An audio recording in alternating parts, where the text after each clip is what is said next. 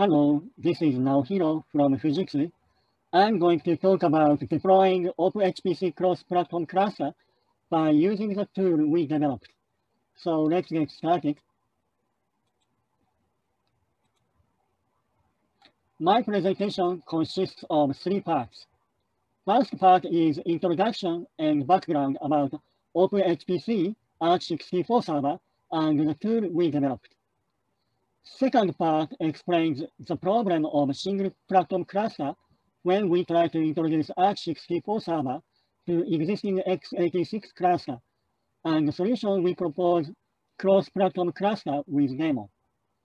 We may call single platform cluster homogeneous cluster, and also call cross-platform cluster heterogeneous cluster, but we only deal with two CPUs, x86 and Arch64, so I use the word single and cross. The third part is closing and recap. Target audience is those who are interested in deploying Arch64 computer node in OpenHPC. Skill level is entry. And uh, I'm going to try to use abbreviation as little as possible. If I use it, I try to make comment on it. The goal is that attendees can deploy OpenHPC cross-platform cluster using QEMU.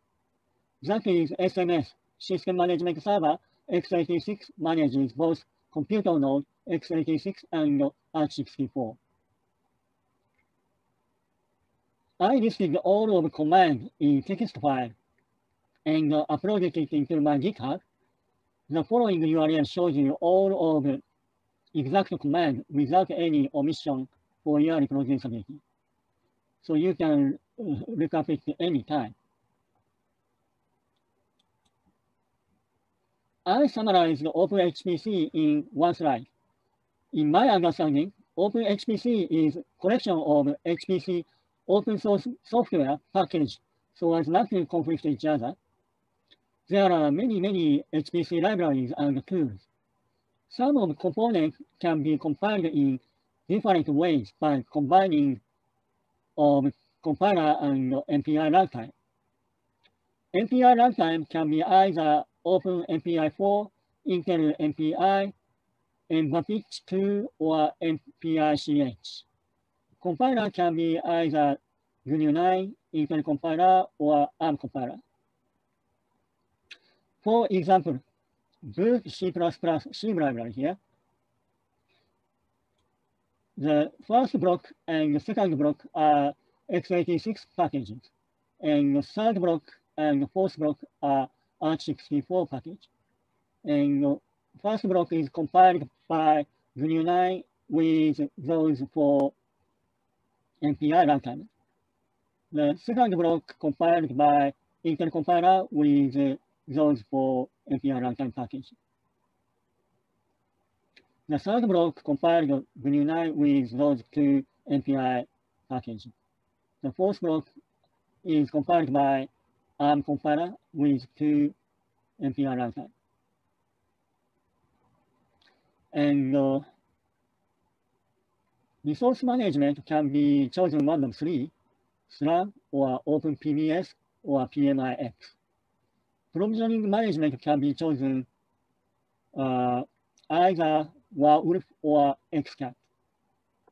And OS is supported uh, either CentOS 8.2 or OpenSUSE Leap 15.2. In this talk, I took a combination of CentOS 8.2 and Warewulf and Slurm, and I use GNU 9 and OpenMPI 4 for, for demo.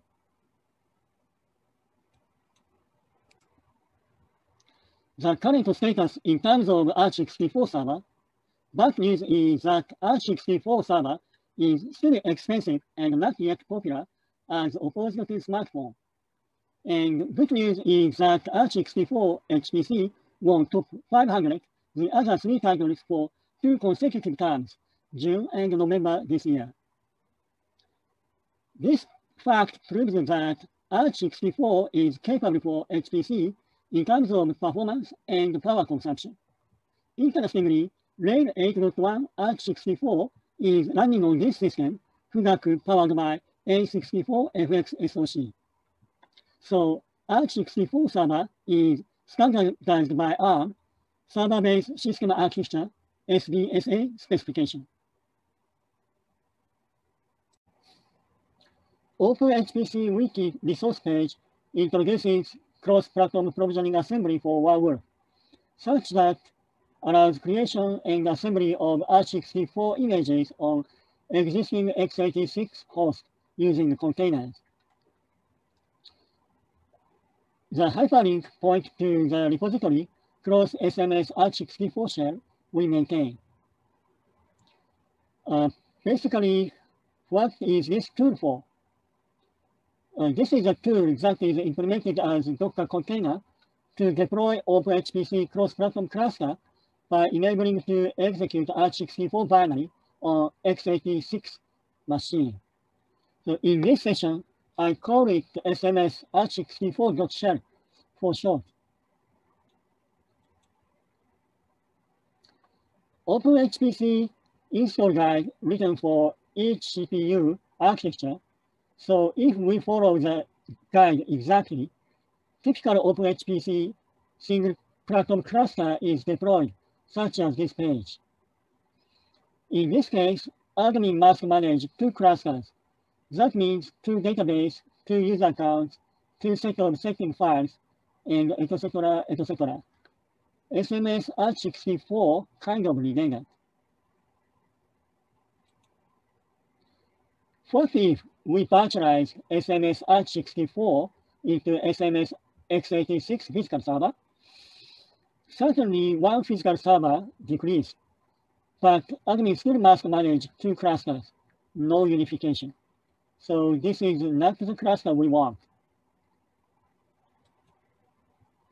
If SMS x86 manages both computer node x86 and computer node ARC64, everything is integrated into SMS x86.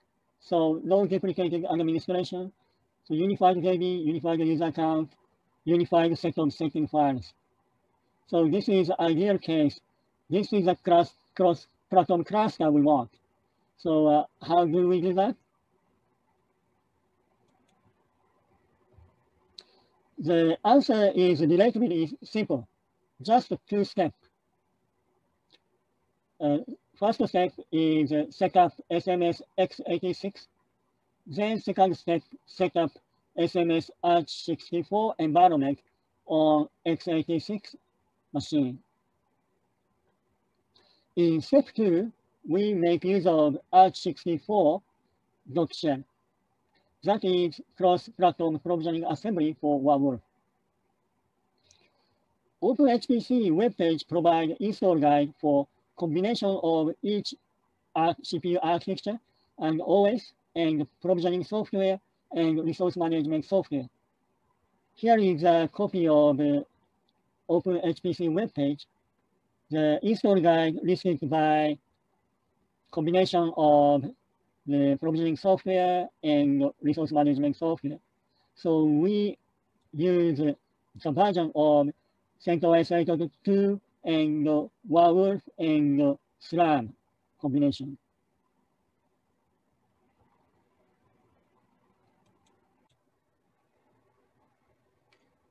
In step one, set up SMS x86 first by following the install guide x86 CentOS 8.2 install guide with uh, and SLAM.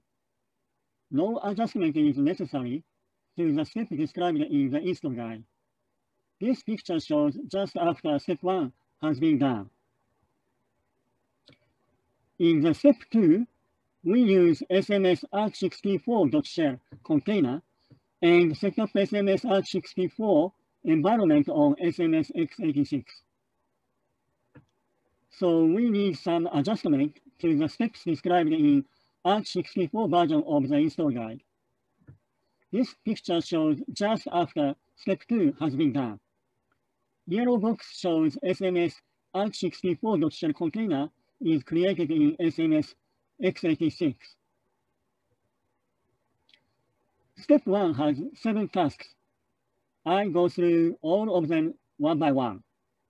The first task is user's account distribution setup by Warewulf.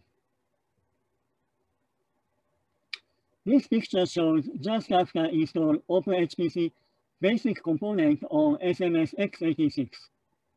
MySQLD, DHCPD, TFTPD, HTTPD, Slurm control D, munged, and NFSD are running, and PD shell, SSH are ready to use. Cluster user account is managed as OS user and distributed via Warewulf wwsh file command, which distributes etc password, group, and shadow. The second step of step one is user's home directory distribution setup by NFS. Create cluster user home on local disk on SMS x86 in this case, and export it to uh, computer node x86 by NFS. The third task of step one is BOS, base operating system creation by Warewulf. Base operating system is minimum set of CentOS 8.2 and the source of Bootstrap and VM, VFNS, virtual node file system. Base operating system x86 is created by wwmk changeroot command with BOS x86 root path, and the OpenHPC packages are added by yum command with BOS x86 root path. All packages are pulled from repository x86 in the internet. The fourth path of step one is bootstrap image assemble and distribute setup Warewulf. Bootstrap x86 contains PXE kernel and initramfs, and it is created by www bootstrap command with BOS x86 root path. The fifth fifth task of step one is VNFS, virtual node file system image assembly and distribution by Warewulf. VNFS x86 contains final OS run image, and it is created by www.vfns command with BOS x86 root path. The sixth task of step one is development tool installation and distribution setup by NFS. Development tool x86 is a collection of library and tools, and they are installed by yum command into SMS x86 slash opt slash ohpc slash path and exported to CNX86 as slash OPT slash OHPC slash PART by NFS. The last task of step one is computer node x86 boot. SMS x86 issues IPMI boot command to computer node x86. Then computer node x86 initiates IPX e-boot. Step two is almost identical with step one. The first and second tasks are common with step one. We don't need these two tasks if users are same between x86 and Arch64.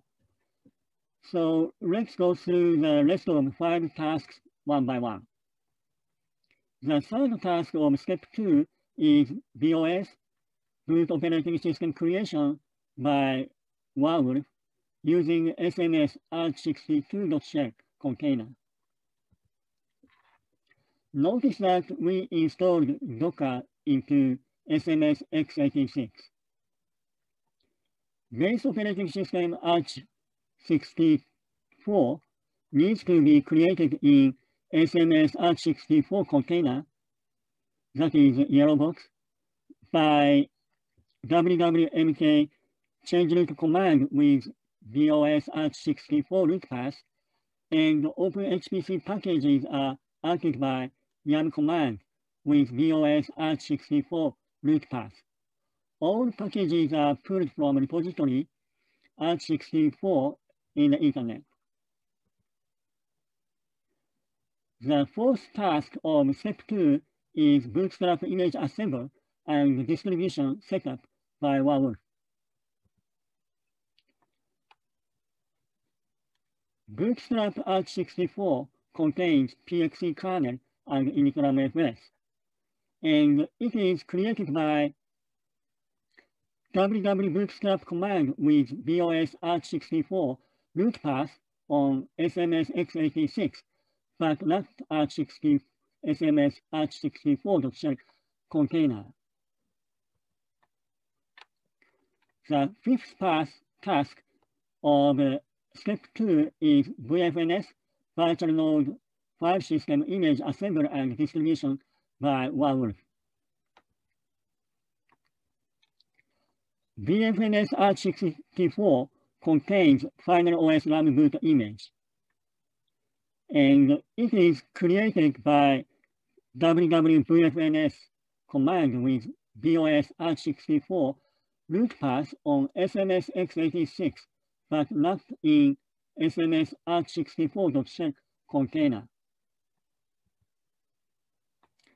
The sixth task of step two is development tool installation and distribution setup by NFS using SMS R64 container. Notice that we need to use SMS Arch64.shell again in batch shell mode, but not interactive shell mode this time. Development tool R64 are collection of libraries and tools, and they are installed by yum command into SMS x86 slash opt ohpc hyphen arch64 slash opt ohpc tab by preventing slash opt ohpc hyphen arch64 so as not to override development tool x86.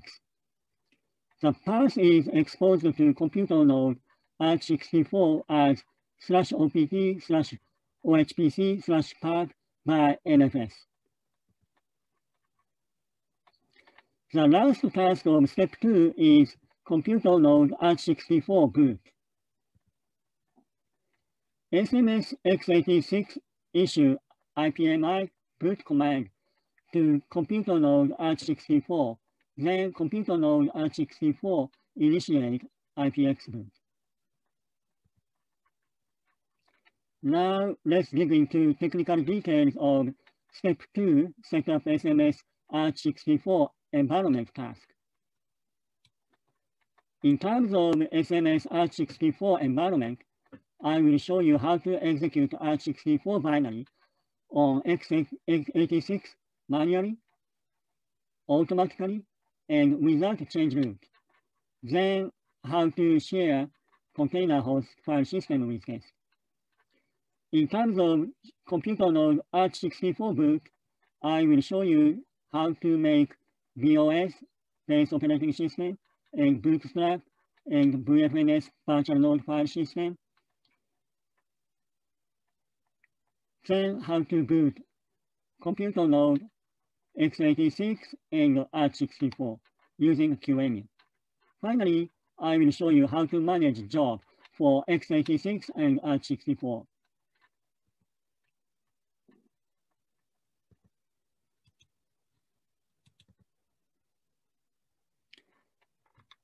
How to execute Arch64 binary on x86 manually.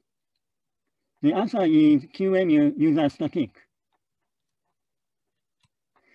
Arch command shows we are uh, we are on x86 platform right now.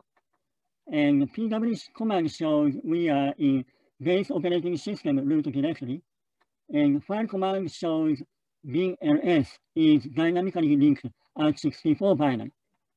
In order to dynamically link Arch60 LS command, we need to invoke change root with QEMU user static like this. QEMU user static is user space interpreter for Arch64 binary. The static binary is convenient uh, because it is portable. We can copy it anywhere without worrying about DLL and DLL path. Next, how can we execute R64 binary automatically? The answer is binformat MISC. The binformat MISC is a kernel function and kind of shebang extension.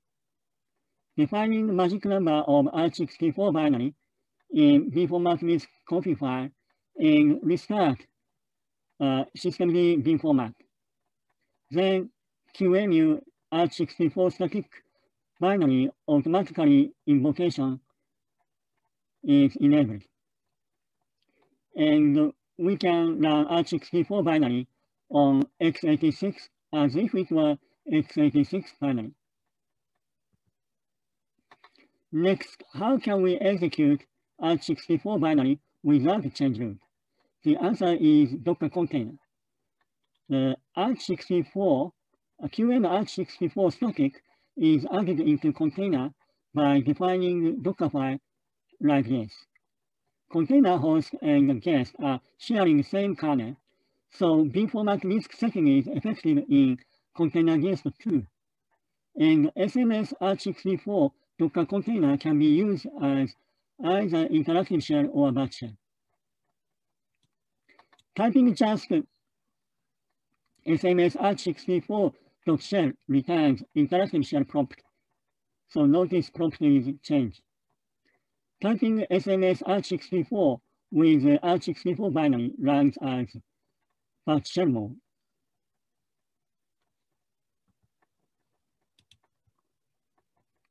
Next, how can we share container host file system with guest? The answer is docker minus B volume option. SMS Arch64 invokes Docker with minus V option like this.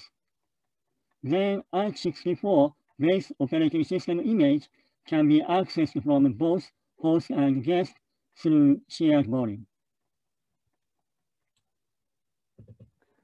Next, how can we create Arch64 BOS base operating system? Here, 3.6.1 is the section number of Arch64 OpenHPC install guide. The answer is to type wwmk change root command in SMS Arch64.shell container. Here, first type SMS Arch64.shell, then notice that prompt is changed, and then set BOS root path to the shared volume and uh, copy QMH64 static to BOS. And then execute wwmk change which create Arch64 BOS in the shared volume.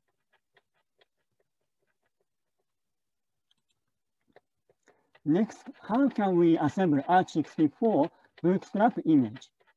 The answer is to type www bootstrap command to SMS x86 shell prompt. Notice that we are not in SMS arch64.shell, but in SMS container host. www bootstrap with BOS path assembles arch64 bootstrap image, but the attribute of the image become x86. So currently, www bootstrap command doesn't take minus a, architecture parameter.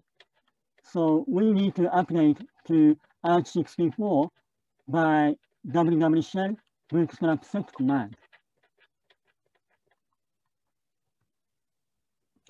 Next, how can we assemble VNFS image virtual node file system ARC64? The answer is to type www.vfns command to SMS x86 container host. Notice that we are not in SMS ARC64.shell, but SMS container host. www.vfns with BOS path assembles R64 VFNS image. But attribute of image become x86.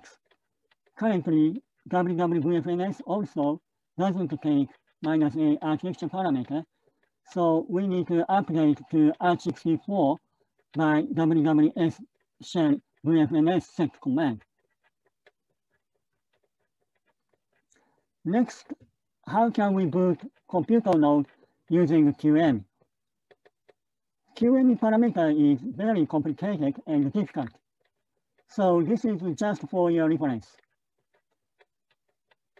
In physical machine environment, we issue IPMI boot command from SMS to boot computer node. The pflash is OVMF UEFI firmware. So see the slide later pointers to outline resource page.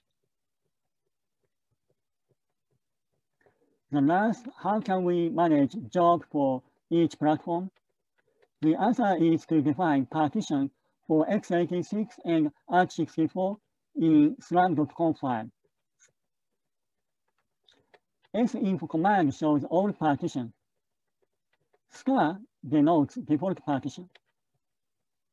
We can specify partition to srun command with minus p parameter like this. If no minus p parameter, default parameter is chosen implicitly. Now I'm going to show you SMS ARC64.shell demo. As I explained, SMS ARC64.shell has two use cases. The first case is to create BOS, base operating system ARC64, in interactive shell mode. Second case is to install development tool ARC64 in batch shell mode. BOS ARC64 creation. Container host SMS is x86. C shared volume is empty on SMS and create a file in shared volume and check a file is created. Start SMS ARC64 in interactive shell mode.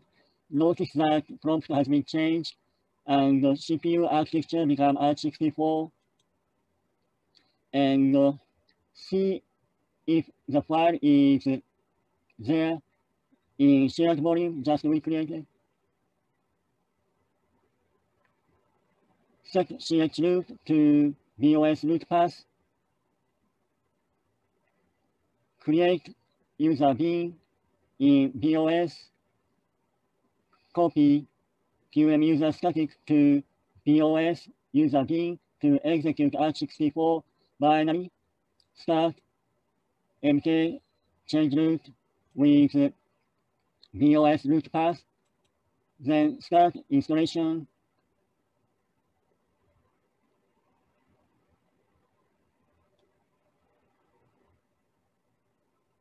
191 package has been installed with no error. Check BOS root path. Image has been installed. Check bin ls is R64 binary. Exit container. Set R64 ch root to the BOS root path.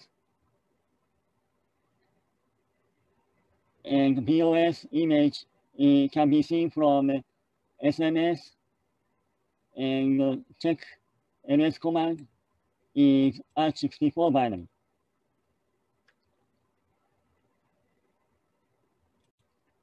Development tool installation. We are going to install ARCH64 GNU 9 compiler. SMS host is ARCH60 uh, x86 and uh, ARCH64 GNU 9 compiler is not installed on SMS. Start SMS ARCH64 in patch mode, specifying the yum command as an argument. Installation started. And now C compiler is installed on SMS x86 and C the GCC binary is ARCH64.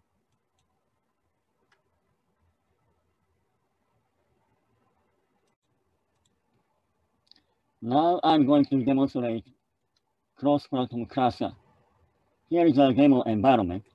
SMS x86 has 4 CPU, 32 gigabyte memory, and two Ethernet, one to Internet, the other is to cluster network. N1 and N2 are computer node x86. Both are running as QEMU virtual server, which has 4 CPU and 8 gigabyte. So computer node x86 has total 8 CPUs. And C1 and C2 are computer node ARCH64. Both are running as QEMU virtual server, which has 4 CPUs and 8 gigabyte memory. So computer node ARCH64 also has total 8 CPUs.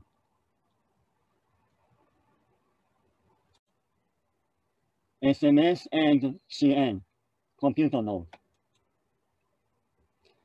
SMS is x86 and uh, WW node list shows all of computer node C1, C2, N1, N2, and sinfo command shows all of partition. There are two partitions, x86, 64 has computer node N1 and 2 ARCH64 partition has C1, C2, and uh, I switch the terminal to N1 and N2, and uh, the boot OS image almost to take 3.9 gigabyte, and uh, uh, both nodes mounting the development tool path and home home directory. And uh, CPU is x86, and uh, number of CPU is 4. And I switch the terminal to C1 and C2, and uh, boot OS occupied 4 gigabytes, and uh, and the development tool is mounting, mounted, and home also mounted and the CPU architecture is ARCH64, and the number of CPU is 4. And let's start MPI job on x86. Create x86 directly so as not to mix ARCH64 binary. The module list shows loaded component currently uh, GNU 9 and OpenMPI4 is loaded and uh, MPICC is located in the tool directory that is uh, NFS exported. And uh, see the world program, the initialize MPI and communication channel and, and node and uh, the synchronization point and node zero print world, and the rest of uh, them print processor information, and compile the hello C, and check the binary A dot out is x86, and start parallel job in batch mode, uh, uh, interactive mode, specify number of processor, number of the node, and uh, partition x86. Now prompt to change to N1 and start the parallel job. And all eight processors are returned the answer. Exit node one and uh, see the uh, MPI job definition file. The number of nodes is two, the number of processors is eight, then start prun command. So put the batch job to the x88, x86 partition. And job number is 37. And job 37 status is running. And now for completed. The result is uh, stored in the file. The all eight processors return the answer. Now, MPI job Arch, Arch64. Create Arch64 directory and uh, login C1 to compile the world as Arch64 binary. Check logic module, GNU9 and OpenMPI4 are logic, and uh, MPI-CC is located in the NFS uh, tool folder. and compile hello C and out is uh, created and check the binary is arch64 and execute parallel job as interactive shell specify the number of processor 8 the number of node 2 and the partition is arch64 and now program login C1 node and start prun and all eight processor returns the answer. Exit C1 and uh, start batch job specifying the partition R64. Job number is 39.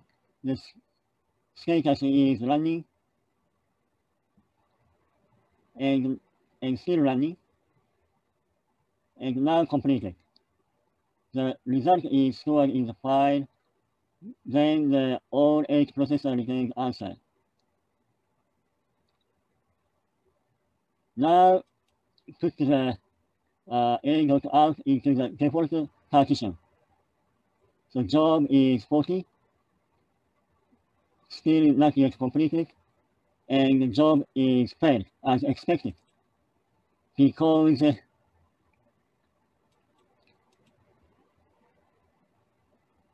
uh, x86 machine computer node cannot Arch64 binary. So that's the reason the error is exec format error.